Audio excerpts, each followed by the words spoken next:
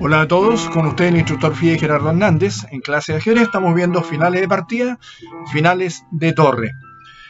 No nos olvidemos que varias posiciones de finales de torre, la única defensa es mantenerse a la espera, sobre todo cuando las piezas propias ya se ubican en casillas ideales.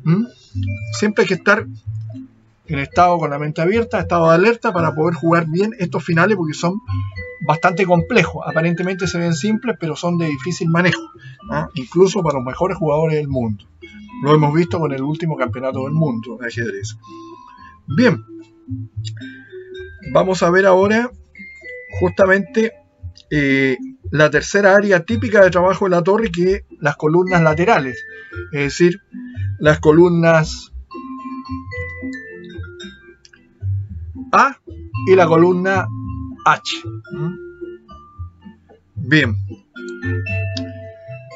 Vamos a ver el siguiente ejemplo. Está sacado una partida del jugador Sak enfrentando a Seko Goski, Seko Goski, en Zagreb, el año 1975. La posición se ve difícil para las negras y de hecho Sekoski Sekokis en este momento abandonó la lucha. Sin embargo, había una forma de salvar la partida realizando un ataque lateral. ¿De qué manera? Esta era la jugada de correcta.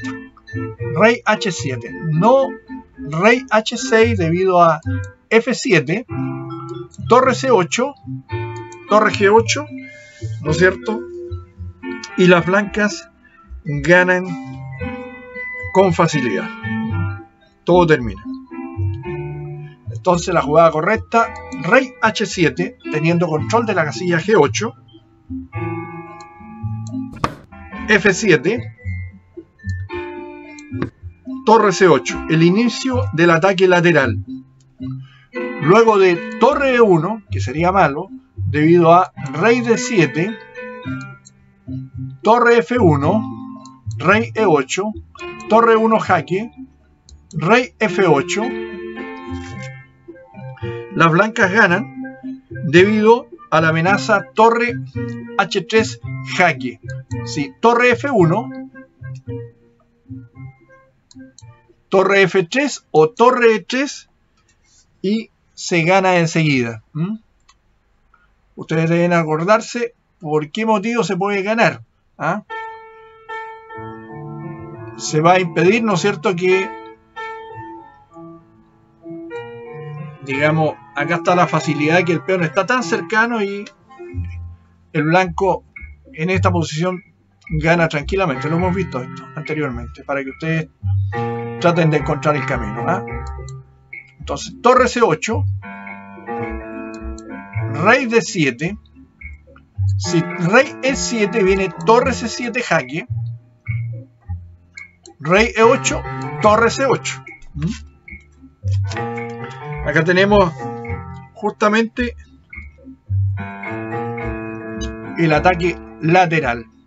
Entonces tenemos rey de 7, torre a 8, lo más alejado del rey, torre a 3, claro, se entrega la torre para coronar inmediatamente las blancas.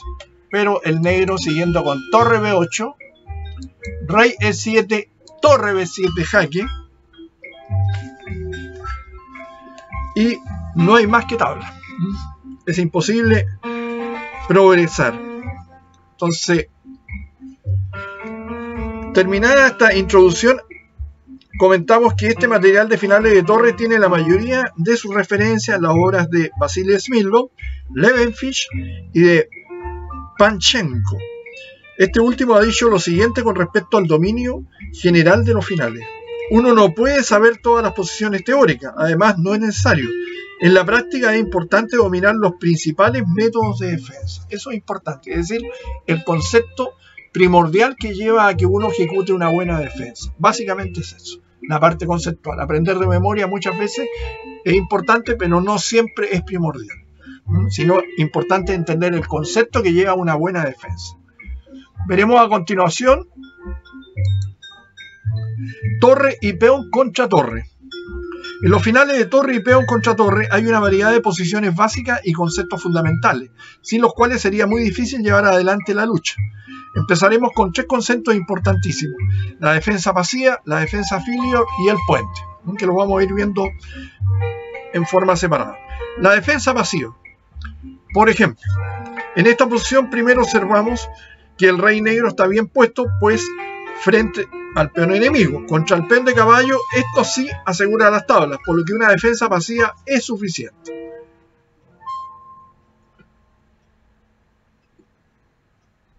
La primera jugada, torre C8, rey H6. El único plan posible del atacante es el avance del peón, del rey y del peón. Torre B8, G6, torre C8, torre G7, jaque. Y ahora la jugada correcta, rey H8. Hubiese sido un error rey F8, debido a rey H7, torre C1, torre G8 jaque, rey E7, torre A8, torre H1 jaque, rey G8, torre H2, G7.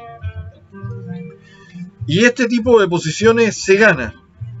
Lo veremos en el famoso tema del puente, descubierto por el gran maestro Lucena en el año 1449. Más adelante lo veremos en un nuevo video con este tema, ¿ah? para que ustedes se ubiquen. Interesante rebasar esto. ¿ah? Entonces, volvemos a la posición en vez de rey F8, sino rey H8. Torre H7 jaque, rey G8, torre A7, no cometer el error de jugar G7 debido a torre C6 y ganan las negras. Entonces, torre A7, torre B8, torre A6, torre C8, G7 y torre B8, manteniendo la defensa, ¿no es cierto? Y las blancas no pueden progresar. Tablas, esa posición. Bien, veremos a continuación la siguiente posición. Aquí tenemos una posición semejante, pero con peón central. Intentaremos nuevamente la defensa pasiva y acá nos, vamos a dar cuenta que la defensa pasiva no sirve contra los peones centrales y contra los peones F de alfil, es decir, me refiero peones que están acá en el centro o peones alfiles. Contra los peones centrales o peones alfiles, la defensa pasiva no sirve. Solamente está efectiva contra el peón G, la columna G. Bien, entonces la primera jugada torre C8, que sería un error. La primera movida correcta tendría que ser torre B6 impidiendo el avance del rey. Bien. Y lo veremos en el próximo ejemplo. Entonces, torre C8, rey F6, torre B8, E6, torre C8, torre H7. Este es el detalle por haber más espacio en el otro lado del peón, las blancas ganan enseguida. Algo parecido hubiese pasado en caso de un peón alfil, que lo veremos a continuación.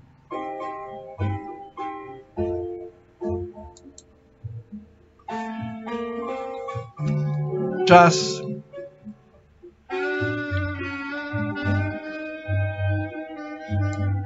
torre C8, viene rey G6, torre B8, F6, torre C8, acá si rey G8, torre G7 jaque, rey H8, si rey F8 vendría torre H7, rey G8, F7 y ganando. ¿ah? Entonces tenemos que torre G7, jaque, rey H8, torre H7, rey G8, F7 y ganando. Entonces tenemos torre C8, torre H7 y ganan las blancas. Esto nos lleva, nuevamente lo reitero, a la siguiente conclusión, que sería que la defensa pasiva, digamos, no sirve justamente para los avances de los peones blancos en F, F, los peones en F y los peones centrales. ¿ah? En estas cuatro casillas, si está ubicado el peón blanco, la defensa pasiva no sirve. Entonces, veremos en el próximo video que pase, vamos a ver el tema de la defensa filial para que todos estén atentos a, por ejemplo, la jugada que yo había visto anteriormente en el otro ejemplo respecto al torre B6 que lo vamos a comentar. Bien, muchas gracias y estén atentos a estos videos.